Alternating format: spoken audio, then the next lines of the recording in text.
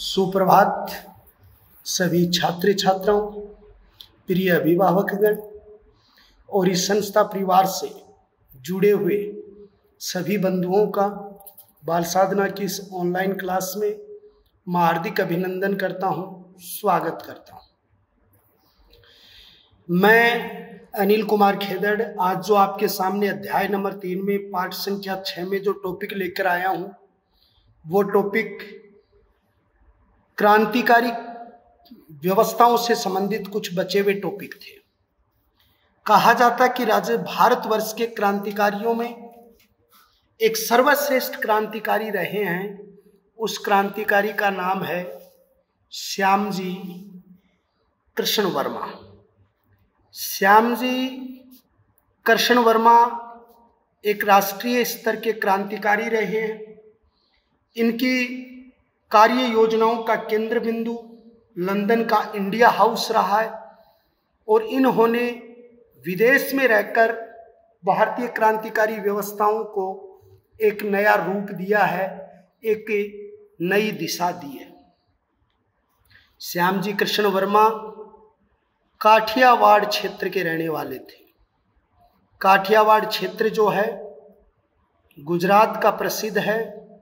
ये घोड़ों के लिए भी प्रसिद्ध स्थान रहा। कैम्ब्रिज विश्वविद्यालय में इन्होंने लंदन में शिक्षा प्राप्त की। कैम्ब्रिज विश्वविद्यालय बहुत बड़ा विश्वविद्यालय था। श्रेष्ठ विश्वविद्यालयों में इनकी गणना होती थी। उस विश्वविद्यालय में इन्होंने अपनी शिक्षा प्राप्त की थी।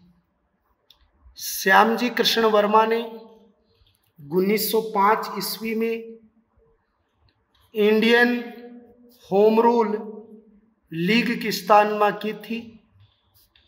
इंडियन होम रूल भारतीय स्वशासन, गृह शासन लीग भी कहा जाता है। इस इंडियन होम रूल लीग की स्थापना इन्होंने लंदन में की थी। लंदन ब्रिटेन की राजधानी है और लंदन किस नदी के किनारे बसा हुआ है, थेम्स नाम की नदी है। उसके किनारे लंदन बसा हुआ है। यहाँ से इन्होंने इंडियन सोशियोलिस्ट पत्र निकाला।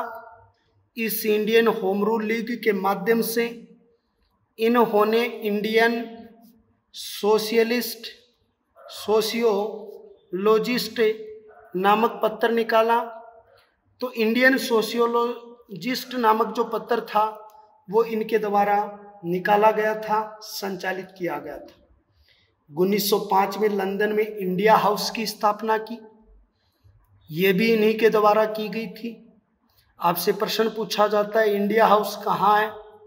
तो इंडिया हाउस लंदन में है। इसकी स्थापना किसने की थी? श्यामजी कृष्ण वर्मा ने की गई थी। और इसी इंडिया हाउस को भारत स्वशासन समिति के रूप में भी जाना जाता है। इसको भारतीय स्वशासन समिति भी कहा जाता है। तो भारतीय स्वशासन समिति के रूप से भी इनका उल्लेख किया जाता है। उन्नीस सौ छह ईस्वी के अंतर्गत अपना स्थान परिवर्तन करके पेरिस चले गए। पेरिस किस राष्ट्र की राजधानी है? फ्रांस की। पेरिस कौन सी नदी के किनारे बसा हुआ है? सीन और भारत का पेरिस किसे कहा जाता है? तो भारत का जो पेरिस है वो जयपुर को कहा जाता है। कहा जाता है कि विदेश में रहने वालों के लिए इन्होंने एक एक हज़ार रुपये की छह फ्लोरिशिप प्रारंभ की कि जिससे उन क्रांतिकारियों को जोड़ा जा सके। तो एक हज़ार हज़ार रुपये की फ्लोरिशिप शुरुकार की, शुरुआत की थी। वो किसके द्वारा की गई थी? श्याम जी कृष्ण वर्मा के द्वारा की गई थी।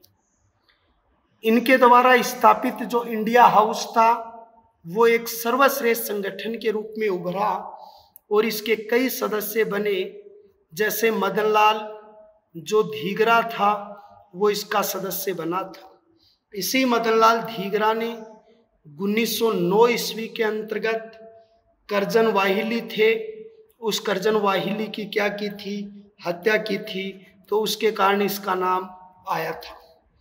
दूसरे व्यक्ति इसके सदस्य बने वी डी सावरकर, जिनको मैंने आपको अठारह सौ सत्तावन की क्रांति में भी बताया था कि वीडी सावरकर महोदय ने अठारह सौ सत्तावन का संग्राम नामक पुस्तक लिखी और इसने दो दो जो सजा भुगती थी जीवनों की, काले पानी सेलुलर जेल में रहे, वो इनके सदस्य रहे और दूसरे हैं लाला हरदयाल।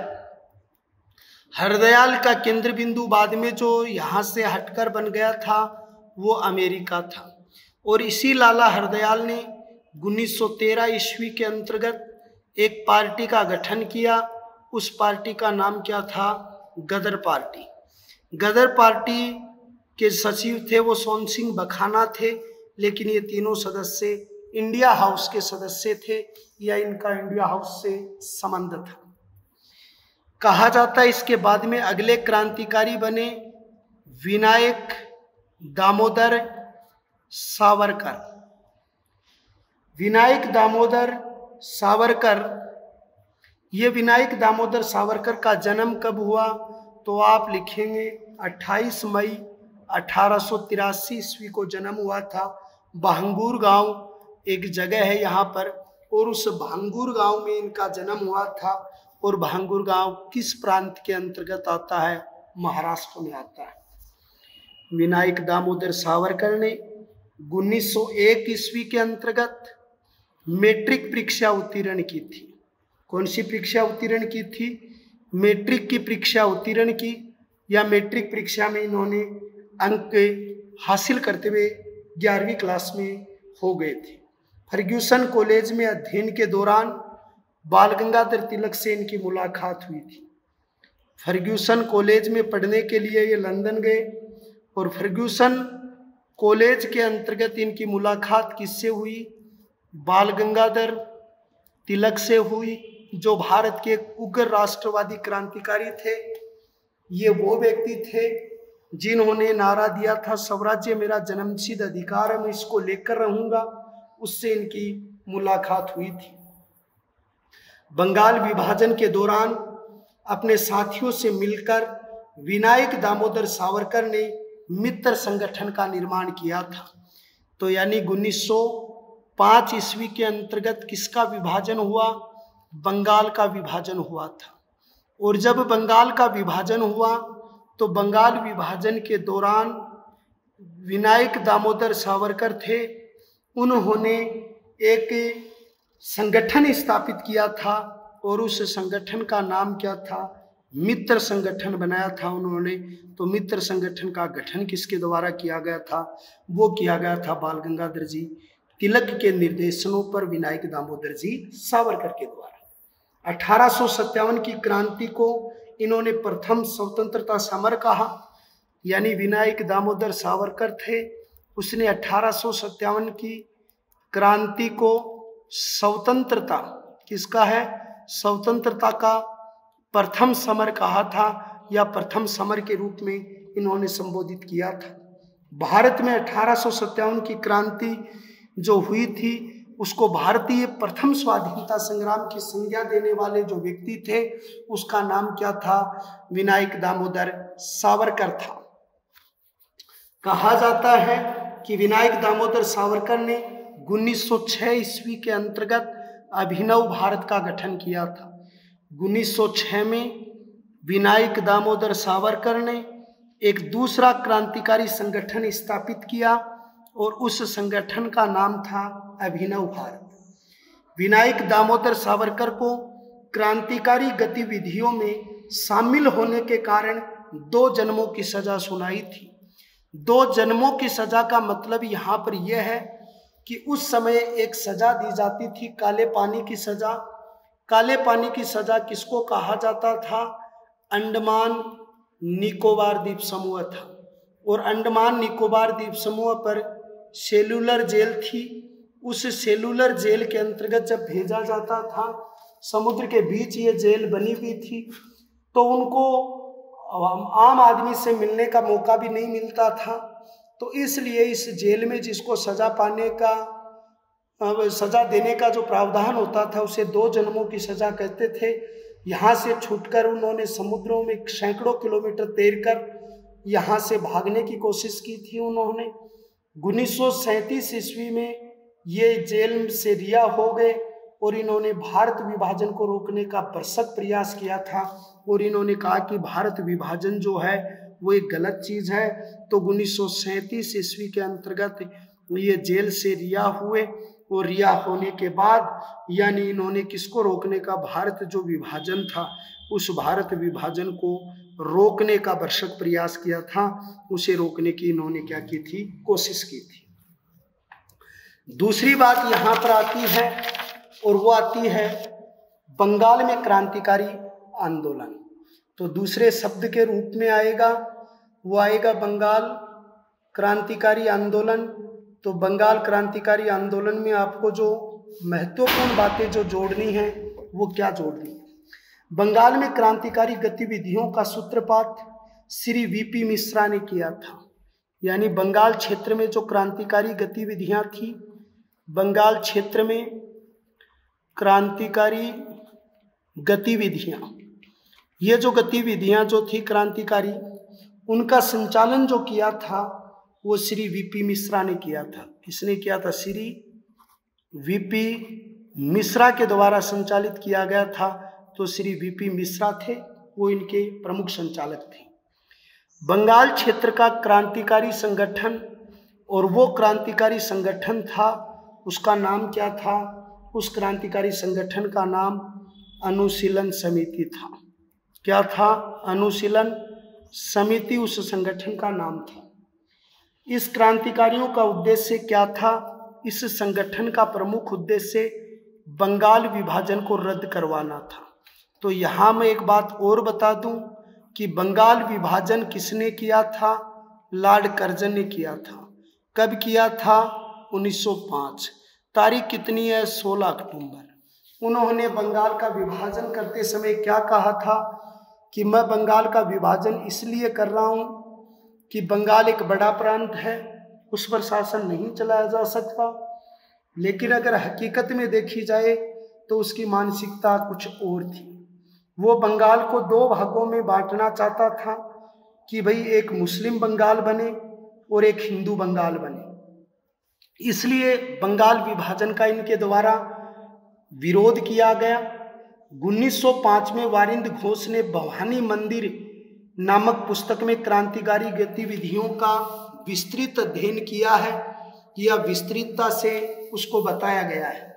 तो यानी 1905 ईस्वी क्रांतिकारी का नाम है वारिंद घोष, और वारिंद घोष नामक क्रांतिकारी ने जो पुस्तक लिखी थी उसका नाम था भवानी मंदिर, और उन्होंने बंगाल क्षेत्र की क्रांतिकारी गतिविधियों का बहुत ही सर्वश्रेष्ठ रूप से क्या किया है, उल्लेख किया है।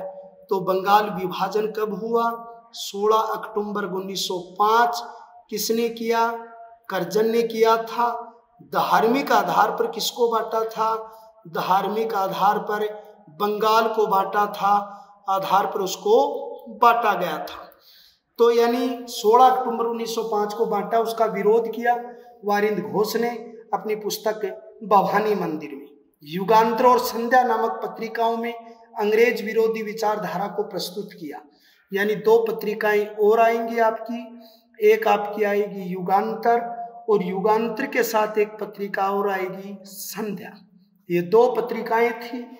उन दोनों पत्रिकाओं के अंतर्गत या पत्रिकाओं में अंग्रेज़ विरोधी विचारधारा प्रस्तुत की थी। पत्रिकाओं में अंग्रेज़ विरोधी विचारधारा जो थी उस विरोधी विचारधारा को विस्तृत किया गया था या अंग्रेज़ विरोधी विचारधारा को बड़े स्तर पर दिखाया गया था। तो कहा जाता है कि यही घटनाक्रम उनकी क्रांतिकारी गतिविधियों का प्रमुख आधार बना था। तो ये आपकी कक्षा दस के टॉपिक में, आपकी माध्यमिक शिक्षा बोर्ड की बुक में ये टॉपिक आपके क्रांतिकारी गतिविधियों में दिए हुए हैं। अब अगला टॉपिक आपका जुड़ शुरू होता है और उस टॉपिक का नाम है किसान आंदोलन। देखो, पहले आपने कुछ विद्रोह पढ़े, फिर क्रांतिकारी पढ़े और अब आपका टॉपिक होगा किसान आंदोलन। कहा जाता साम्राज्यवादी प्रसार की मानसिकता। अंग्रेज़ यहाँ व्यापार करने के लिए आए, लेकिन उन्होंने साम्राज्य का क्या किया? साम्राज्य का विस्तार किया। और साम्राज्य के विस्तार किया भारत में जब उन्होंने अनेक शक्तियों के संपर्क में आए, किसी से प्रत्येक संपर्क हुआ तो उस संपर्क का, साम्राज्य विस्तार के दौरान क्या हुआ? संपर्क हुआ। और जब यह संपर्क हुआ था तो उस संपर्क में कुछ कर्षक वर्ग जुड़ा था। और कर्षक वर्ग के साथ कुछ आदिवासी वर्ग जुड़ा। आदिवासी वर्ग और कर्षक वर्ग पर इनके साम्राज्य विस्तार का सीधा प्रभाव देखा गया। लेकिन जब ब्रिटिश सरकार साम्राज्यवादी व्यवस्था में कर्षक और आदिवासी जो खेतीहर किसान थे, उन किसानों के साथ अपमानजनक व्यवहार किया, करों का उन पर भार लादा गया, अत्यधिक कर इन पर थोपे गए, जिसके कारण उनके अन्याय के खिलाफ एकजुट होकर वो जंग शुरू की थी। उस सभी जंगों को एक साथ आप किसके नाम से जानते हो? किसान आंदोलन के रूप में आप प्रस्तुत करते हो। कहा जाता है, भारतीय किसान जागीरदार, साहूकार और व्यापारियों का शोषण था। भारत का जो किसान था, वो किसान तीन चीज़ों से काफ़ी, वर्ग, तीन वर्गों से प्रभावित था। वो तीन वर्ग कौन थे? जमींदार थे। जमींदारों के साथ कौन थे? साहूकार थे। साहूकारों के साथ कौन थे? व्यापारी थे। तो जमींदार, साहूकार और व्यापारी। ये तीन वर्ग थे। इन तीनों वर्गों से प्रभावित कौन था? किसान प्रभावित था। ये तीनों वर्ग थे।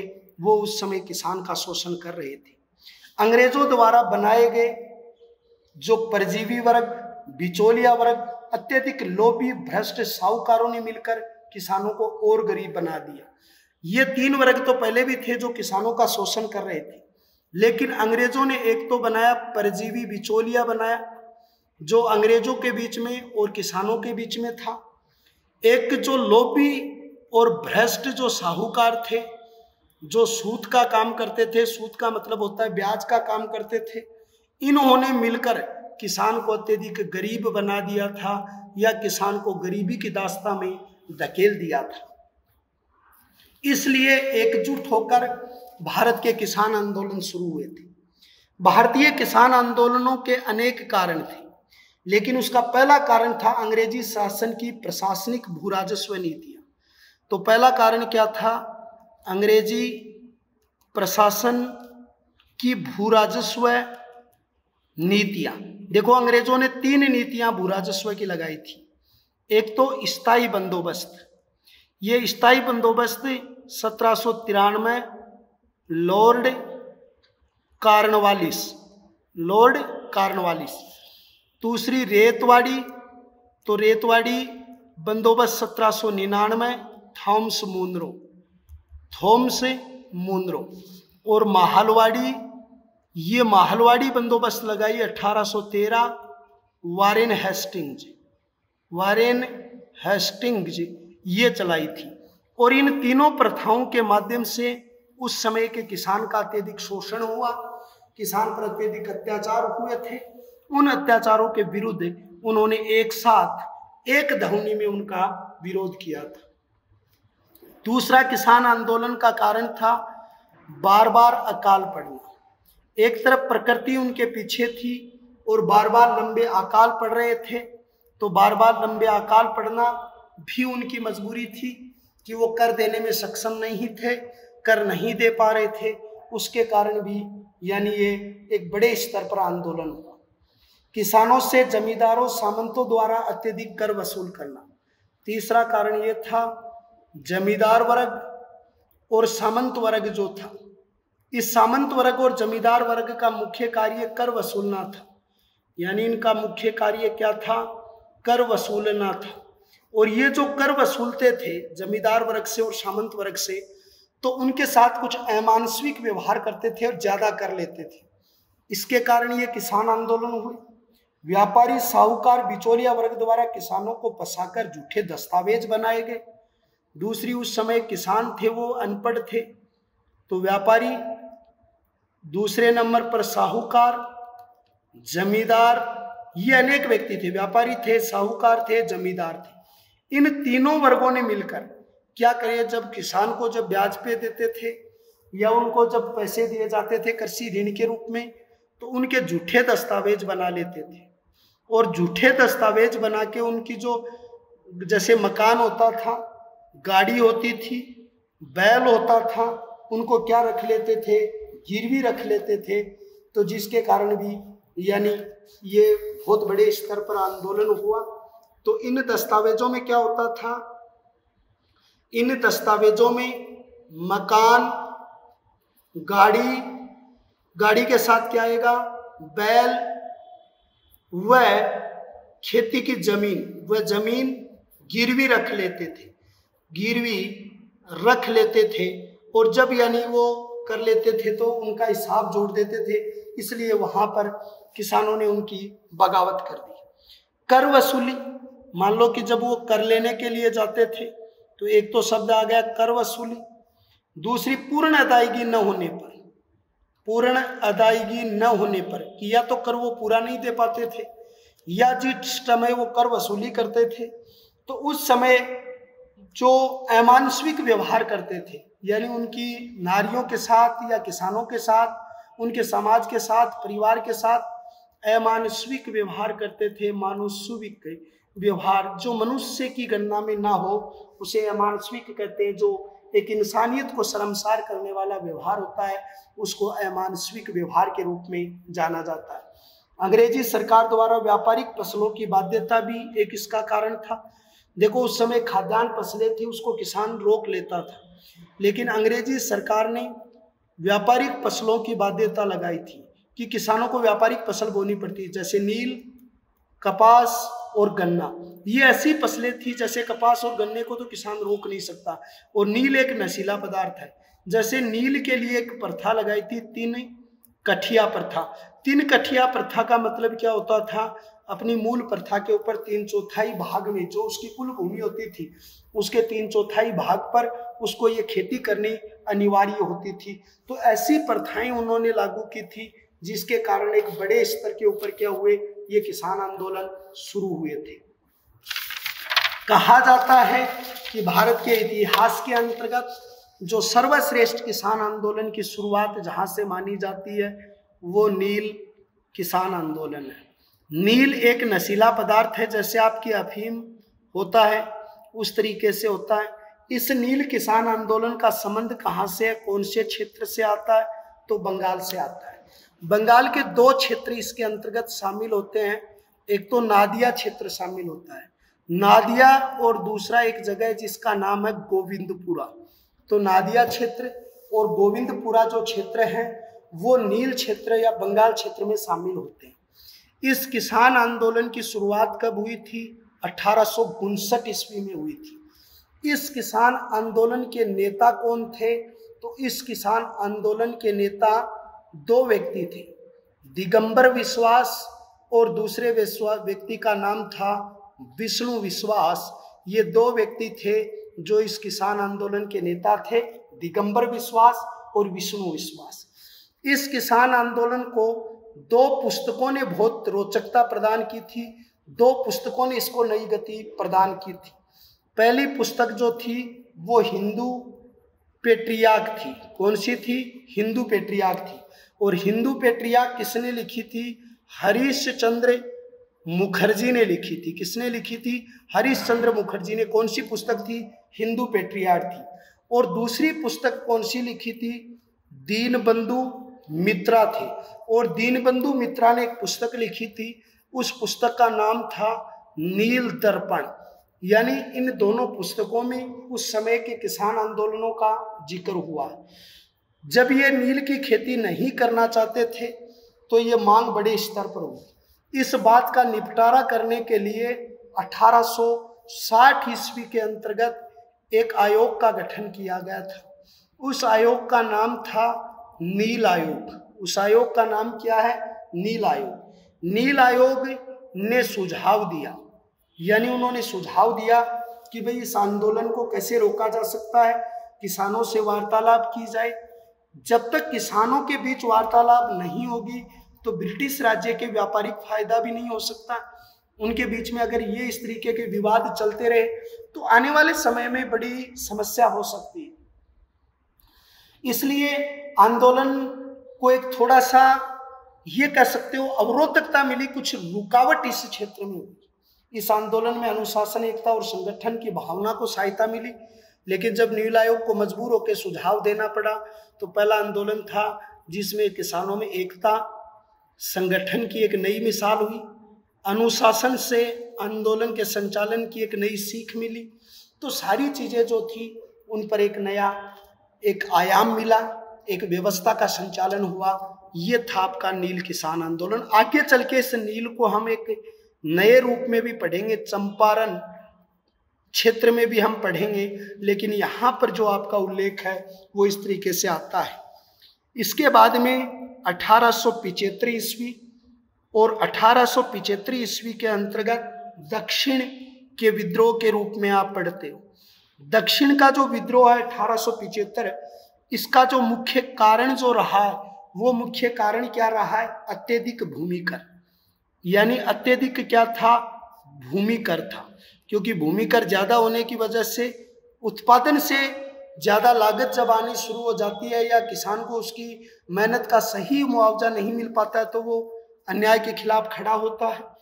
कपास के भाव कम थे, क्योंकि दक्षिणी क्षेत्र में ज़्यादा काली मिट्टी थी और काली मिट्टी थी तो कपास की खेती ज़्यादा होती तो कपास की खेती के वाजिब दाम नहीं मिलना, वाजिब पैसे उसके अंतर्गत उसको नहीं मिलते थे। मारवाड़ी और गुजराती साहूकारों द्वारा लेखा विवरण में हेरा फेरी की गई थी। तो एक तो मारवाड़ी थे, दूसरे कौन थे? गुजराती थे। और मारवाड़ी और गुजराती साहूकार जो थे, उन साहूकारों का जो लेखा विवरण था, ये लेखा विवरण क्या होता है कि उस समय लिखा पढ़ी रखते थे कि भाई कितना कराया, कितना बकाया रहा, इस साल राजस्व में क्या वृद्धि हुई, किसानों से क्या हमें मिला है। ये सारी चीज़ों का एक विवरण होता था। और उस विवरण में क्या कर देते थे? हेरा फेरी कर देते थे कि कम लिख देते, ज़्यादा ले लेते। तो इस तरीके से भी ये बड़े स्तर पर आंदोलन हुआ था। अनपढ़ किसानों से जाली हस्ताक्षर लेके मकान, दुकान और जमीनों का अधिग्रहण कर लेते थे। और जो अनपढ़ किसान थे, उनका या तो क्या ले लेते थे? अंगूठा ले लेते। या उनके जाली क्या कर लेते? हस्ताक्षर करवा लेते थे। और जाली हस्ताक्षर करवा कर उनके मकान, उनकी ज़मीन या उनके मकान और ज़मीन के अलावा, यानी कि उनकी जो दुकानें होती थी, उन दुकानों को क्या कर लेते थे? अधिग्रहित कर लेते थे, उन पर कब्जा कर लेते थे, उनको अपने अधीन कर लेते थे। इस तरीके से बड़े स्तर के ऊपर यह आंदोलन शुरू हुआ। लेकिन कहा जाता है, अठारह ईस्वी के अंतर्गत इन सभी मामलों को बढ़ता देख ब्रिटिश सरकार ने सोचा कि इसमें हमारे नेक जो हित हैं, उनको आघात पहुँच रहा है। इसलिए अठारह ईस्वी में कर्षक राहत अधिनियम पारित हुआ। कौन सा अधिनियम पारित हुआ? कर्षक राहत अधिनियम पारित हुआ या पारित किया गया? उसके अंतर्गत जिस, जिसके सुझाव पर किसानों द्वारा ऋण न लौटाने पर न तो गिरफ्तारी होगी और न ही उनको जेल में बंद किया जा सकता है। तो यानी उन्यासी के अंतर्गत कर्ज राहत अधिनियम बना। इसके अनुसार दो बातें कही गई। अगर कर्षक ऋण नहीं दे पाएगा। कृषक ऋण नहीं दे पाएगा। दे पाएगा। अगर कृषक ऋण नहीं दे पाएगा तो उसको न तो जेल होगी, न तो जेल होगी और न ही उसकी क्या होगी? गिरफ्तारी होगी। गिरफ्तारी होगी कि वो कर में आगे भी हो सकता है या उनको किसी तरीके से अमानसिकता का सामना नहीं करना पड़ेगा। ये बात उसके अंतर्गत कही गई थी। तो कहा जाता है कि कृषक राहत अधिनियम के द्वारा सेठ साहूकारों की जो लेखा विवरण थे, हेरा फेरी थी, उनकी जो यानी इस तरीके की व्यवस्था थी, उनसे उन्हें मुक्ति मिली थी। तो ये आपके दो किसान आंदोलन हुए। आगामी टॉपिक के बारे में हम आपको अगले कालांश में हम बताएँगे। तो अभी हमने जो आपको बातें की, बंगाल की क्रांतिकारी में अनुशीलन समिति, बंगाल विभाजन, भवानी मंदिर और यानी युगांतर और संध्या नाम की पत्रिका आपको बंगाल के विभाजन में याद रखनी है फिर ये जो कारण है, आपको अपने नोट्सों में बहुत अच्छे तरीके से इनको तैयार करने हैं। रेतवाड़ी स्थायी बंदोबस्त वाले जो नाम है, ये भी आपको तैयार करने हैं। फिर श्याम जी कृष्ण वर्मा वाला, काठियावाड़ वाला बता दिया, और ये नील और दक्षिण के जो किसान आंदोलन है, उनको आप बहुत अच्छे तरीके से तैयार करोगे। और बहुत अच्छी तरीके से उनको पढ़ोगे। देखो इनमें जैसे कई प्रश्न आते हैं, जैसे होम रूल लीग आता है सोशियोलॉजिस्ट पत्रिका आती है इंडिया हाउस आता है पेरिस में जो आपका भारत का पेरिस है, मदन धीगरा है, भारत का प्रथम स्वाधीनता संग्राम है, अभिनव भारत है, मित्र संगठन है, इनके ऊपर काफ़ी क्वेश्चन आपके आएँगे तो आप इनको बहुत अच्छे तरीके से तैयार करोगे। मैं जहाँ तक सोचता हूँ, सभी मेरे प्रिय और हृदयगत छात्रों की बात समझ में आई है, आप इस क्लास को ज़्यादा से ज़्यादा शेयर करें। आप इस चैनल को भी अपनाएँ और अपने मित्रों तक भी पहुंचाएँ। मैं मेरे विद्यालय संस्था निर्देशक महोदय और संस्था प्रधान और मेरी टीम की ओर से आप सभी के परिवार की स्वस्थता की कामना करता हूँ और इस कोरोना जैसी महामारी में आप तक मेरे संस्था परिवार के द्वारा हर चीज़ पहुँचाने की और शैक्षणिक गतिविधियाँ पहुँचाने का हम पूरा प्रयास करेंगे। और अब तक अगली क्लास में हम आगे और पढ़ेंगे। तब तक के लिए मैं आपसे विदा चाहता हूँ और हम नई क्लास में पढ़ेंगे। सभी बेटे बेटियों से और छात्रों से निवेदन है कि वो अपनी पढ़ाई को सुचारू रूप से और व्यवस्थित रखें। अब हम अगली क्लास में मिलेंगे। जय हिंद